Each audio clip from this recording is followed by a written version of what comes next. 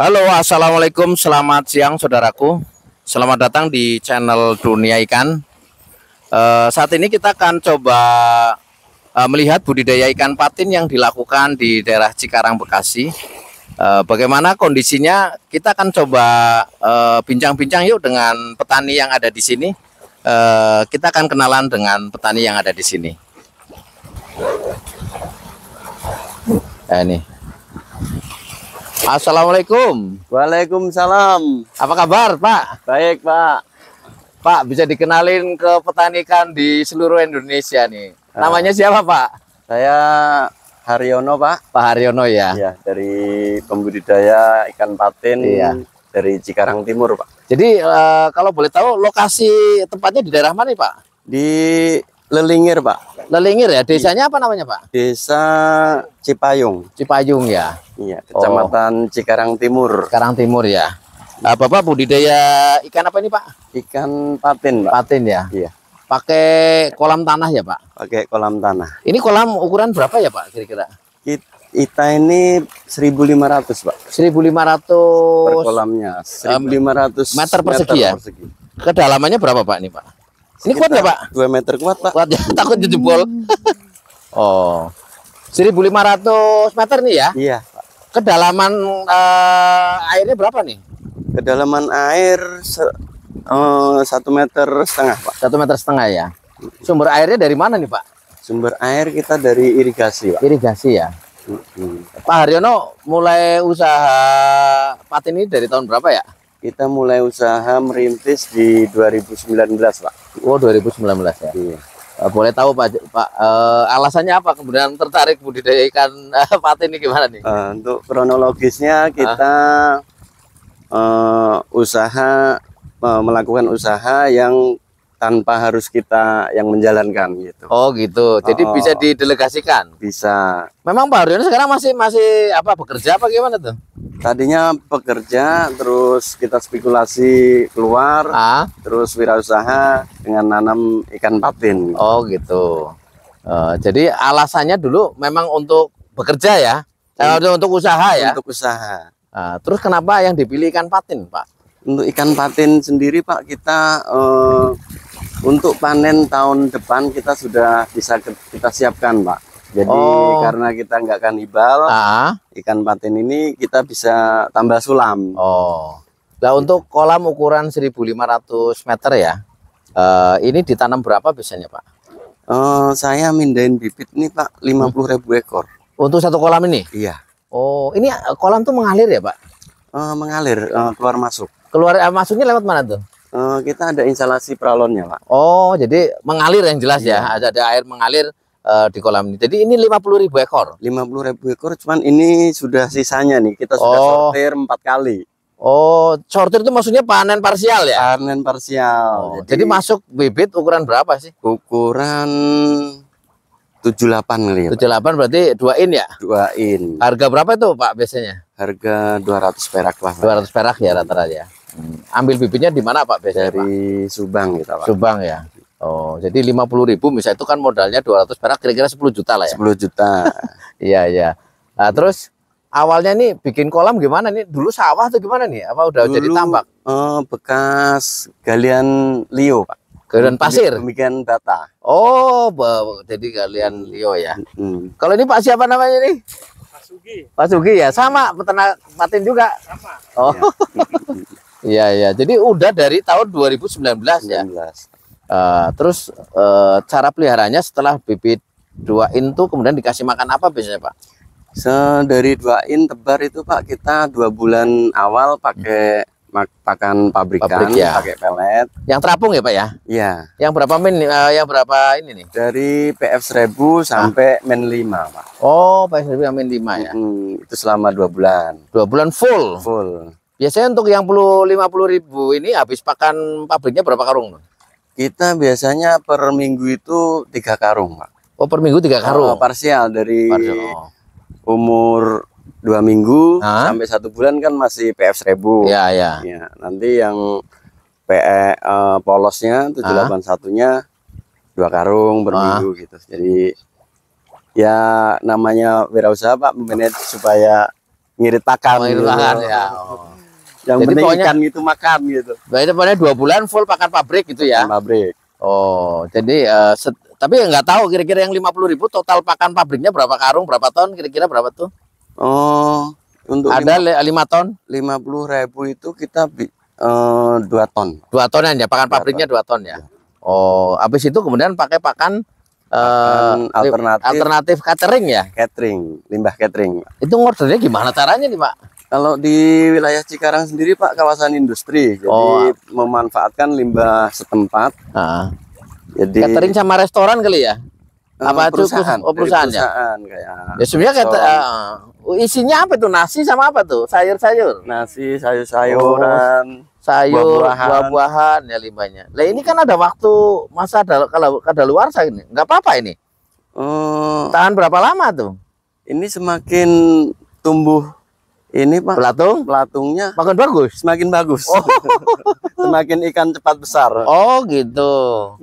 Nah, jadi dimakan ya terus? Dimakan. Uh, dua bulan pakai pakan pabrik kemudian di, dilanjut dengan pakan alternatif ini ya? Iya. sampai umur berapa bulan tuh? Sampai uh, lima bulan berarti lima bulan. tujuh bulan totalnya sortir awal. Wow. jadi panen uh, apa yang pertama lah ya? Panen pertama. Ya part apa namanya sebagian ya? Iya jadi lima bulan sudah bisa panen pertama.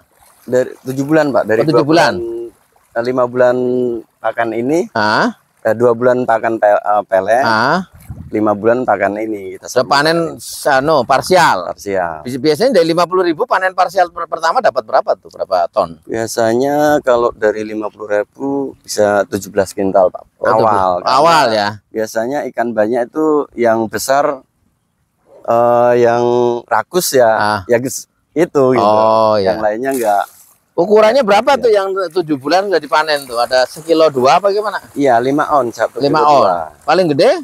Paling gede satu kilo. Satu kilo paling gede ya. Oh, dipanen dalam kondisi mati ya? Hidup, Pak. Oh, hidup. Di bawah hidup. Ada, di bawah hidup? Uh, yang di bawah hidup ada, yang di bawah mati ada. Oh, gitu ya. Uh, jadi selama ini uh, pemasarannya ke mana aja katanya Pak uh, Hadeno? Kalau pembuangan dari sini Pak Tengkulak hmm. ke Muara Baru, ke Muara Angke gitu. Oh, itu yang panen mati ya? Panen mati. Oh, biasanya rata-rata harga lagi terbaik berapa, terjelek berapa tuh? Kita dari harga 12.000 sampai sekarang jadi 14.500 Pak. Oh, 14.500 ya. Iya, iya, iya. Lah selama berarti tahun berarti sudah hampir lima tahun ya Pak ternak lima ya? tahun. Kira-kira apa Pak uh, kendala yang sering dihadapi uh, jadi ternak uh, patin ini? Oh kita kendalanya untuk pakan sendiri Pak. Oh pakan di dua bulan pertama? di pakan kita dulu nggak komersil sekarang komersil untuk uh, limbah cateringnya ini. Oh jadi mesti beli ya? Mesti beli. Kalau dulu enggak dulu kita malah dibayar sekarang oh kita harus membeli. Ada pedagangnya ya? Oh ya ya jadi minimal kirim pakan alternatif ke sini berapa banyak tuh? Uh, untuk satu kolam kita satu minggu satu rit satu oh, mobil. satu mobil jadi itu satu mobil nanti dipakai untuk seminggu itu? Satu minggu. Jadi sampai busuk juga nggak apa-apa? Nggak apa-apa.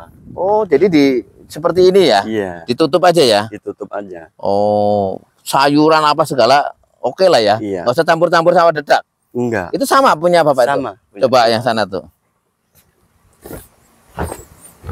Yang ngajari begini siapa pak? Ternak begini pak?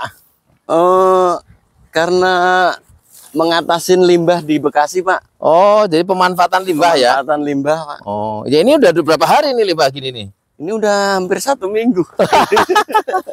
oh, gitu. Jadi makin lama makin bagus katanya. Makin lama makin bagus. Hmm. Uh, tuh.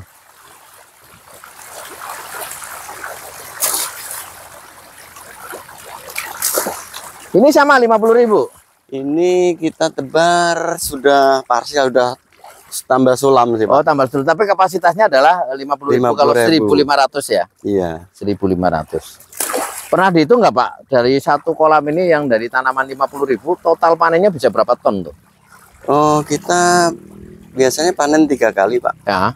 Uh, dari tujuh bulan ke sembilan bulan Hah? terus ke satu tahun. Oh ya. Habis. Oh satu tahun habis. Satu tahun habis. Total tuh dapat berapa ton tuh dari? Total biasanya bisa dapat lima ton? enam tonan enam ton ya satu ini satu tahun enam ton lah ya pokoknya iya. cuma panennya tiga kali gitu tiga kali nggak bisa rata soalnya ya nggak bisa rata oh ikannya banyak iya iya nggak bisa rata ya ada masa-masa panen raya segala gitu nggak pak panen raya biasanya karena kita perantau pak jadi uh, setiap mau lebaran kita sortir tuh. oh gitu lah memang ini kalau nanti sudah dipanen total tuh nggak dikeringin kolam ini pak enggak pak kita oh jadi nggak pernah keringin? Nggak pernah kering. Oh kenapa susah apa gimana? Kalau ini kan kita dalam luas ya Hah? perlu biaya. Biaya. gitu. Dan nanti kalau nanam lagi udah ditanam aja. Langsung bibit baru.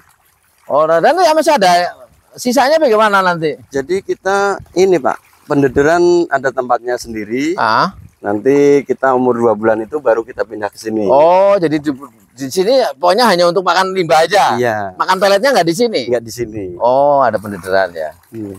Kalau yang dua bulan berarti sekitar ukuran berapa udah? Segini-gini tiga eh, jari? Uh, dua jari tiga jari lah ya. Oh tiga jari ya. Di kolam mana biasanya pak? Di jauh dari sini? Dekat rumah sih enggak. Oh dekat. Jauh. Pakai kolam terpal ya? Enggak. Enggak. Kolam tanah juga. Tanah juga. Oh. Kalau dia kapasitasnya kecil, nah. jadi uh, kalau bibit kita pindah sterilin mbak kita airnya kita kuras oh, iya iya iya baru kita lakukan apa pemeliharaan tanahnya ya. baru kita tebar bibit lagi ya padahal ini limbah uh, catering itu limbah-limbah yang bergizi ya iya. uh. sekarang dihitung berapa per kiloan apa gimana pak kayak gini kalau ini kita seri tritan ritasi pak oh jadi satu truk gitu ya satu, satu mobil pickup gitu oh iya iya jadi kendalanya apa Pak kalau selama ini e, ternak begini nih?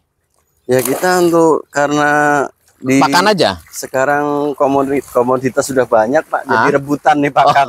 Oh, pakan termasuk limbahnya? Iya. Oh rebutan ya. Uh. Ada yang sudah pernah nyoba full pakan pabrik nggak Pak? Full pakan pabrik kita belum mampu. Belum ya. Nggak ketemu juga kali ya? Nggak ketemu juga. Harganya gitu ya? Harganya. Oh. Kalau ketemu mau Pak pakai pakan pabrik? Boleh itu. Jadi nggak usah susah-susah pakai limbah. Iya. Ah? Betul. Betul ya. Oh. Iya iya iya. Ya ini teman-teman nih jadi ada budidaya ikan patin di daerah Cikarang Bekasi ya eh, yang memanfaatkan limbah catering yang ada di industri di sini tapi masih menggunakan pakan pabrik di umur dua bulan pertama ya Pak Aryono ya. Iya. Ya. Ya Pak Reno makasih ya obrolannya ya. Baik Pak. Semoga makasih, bermanfaat sama. bagi petani ikan di seluruh Indonesia yang menyaksikan YouTube ini. Amin. Uh, Mas, makasih namanya tadi saya. Oh Sugi ya. Semoga bermanfaat nih bagi petani ikan yang menyaksikan uh, YouTube ini. Amin. Itu laporan saya dari Cikarang Bekasi tentang budidaya ikan patin yang menggunakan kolam tanah dan uh, menggunakan pakan alternatif ini. Semoga bermanfaat dan menginspirasi. Uh, jangan lupa subscribe, like, share, dan komen. Eh, sampai jumpa dengan video berikutnya.